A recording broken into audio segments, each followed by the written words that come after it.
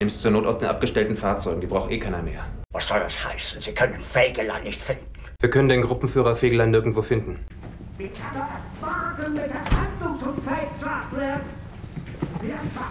Tag, Frau Junge. Herr Speer, wie sind Sie denn noch nach Berlin reinkommen? Einfach war es nicht. Aber ich muss noch einmal zum Führer.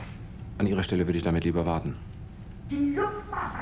Ich will Fegelein sehen! Sofort! Wenn er sich ohne Befehl entfernt hat, ist das Fahnenflucht! Verrat!